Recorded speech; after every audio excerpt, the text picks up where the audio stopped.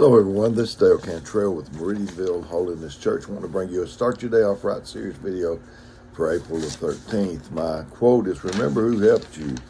Never forget who helped you out while everyone else was making excuses. Uh, my story, I've told this, I think, different times maybe, but uh, it's near and dear to my heart.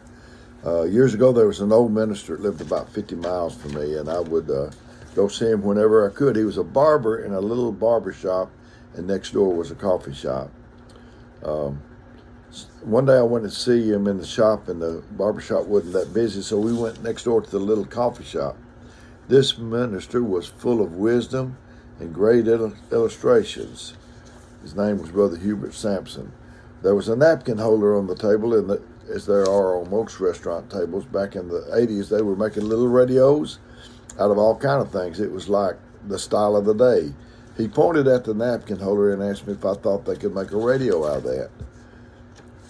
I replied, I sure they could. He went on and said that if we could put two dials on and an antenna on it ourselves, it wouldn't pick anything up. After I agreed, he continued his explanation. He asked me why did we not pick up anything.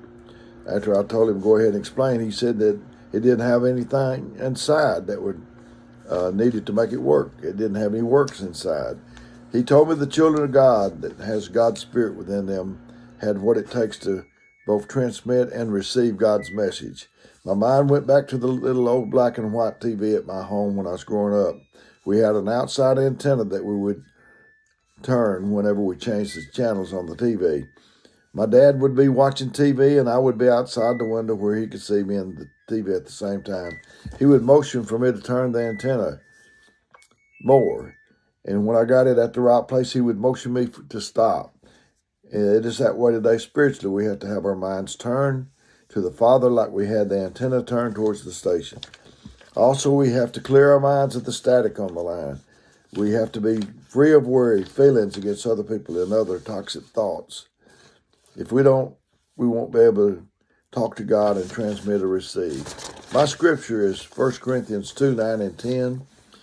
But as it is written, Eye hath not seen nor ear heard, neither hath entered into the heart of man the things that God hath prepared for them that love him. But God has revealed them unto us by his Spirit. For the Spirit searcheth all things, yea, the deep things of God. My humor two dogs were out for a walk. One dog says to the other, Wait here a minute, I'll be right back. He walks across the street, sniffs a fire hydrant for a minute, and then rejoins his friend. What was that all about? The other dog asked. Well, I'm just checking my messages. So this is Dale Cantrell with Meridianville Holy Church saying I didn't come to replace your minister you getting to go to church, only to supplement if I could. So if you have a quote, a story, a scripture, humor, a clean joke, send it to me. My phone number is 256 508 4410. And until we do this next time, may God richly bless you.